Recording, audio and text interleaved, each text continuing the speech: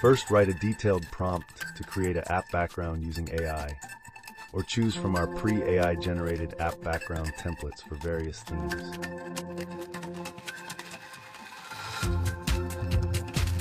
To use a template, just pick one that fits your vision.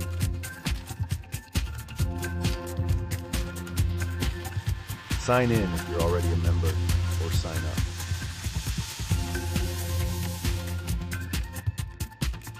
You want to customize your chosen template, adjust text, change fonts, colors, and add images to make it your own.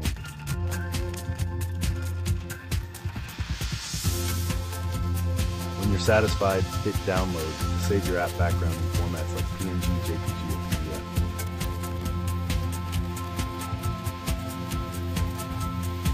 There you have it, a beautiful app background made easily with AppyPie App Background Maker.